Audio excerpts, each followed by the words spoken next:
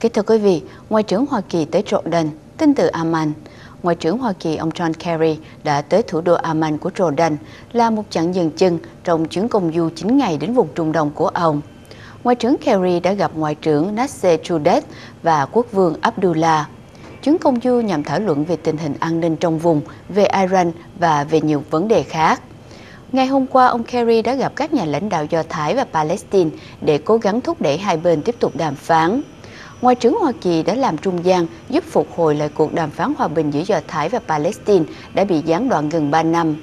Theo thời hạn ấn định, hai bên sẽ đạt được hiệp ước trong thời gian đàm phán 9 tháng. Nhưng 3 tháng đã trôi qua mà không có một chút tiến triển nào. Cuộc đàm phán hòa bình đã bị đổ vỡ trong năm 2010 vì Do Thái tiếp tục xây cất các khu định cư trên vùng đất chiếm đóng Tây Ngạn. Lần này, khi đàm phán bắt đầu trở lại trong tháng 7, Do Thái đã đưa ra chương trình xây 3.500 căn nhà định cư ở Tây Ngạn. Việc Do Thái xây cất các khu định cư trên các vùng đất chiếm đóng sau chiến tranh 1967 bị hầu hết các nước trên thế giới coi là hành động bất hợp pháp.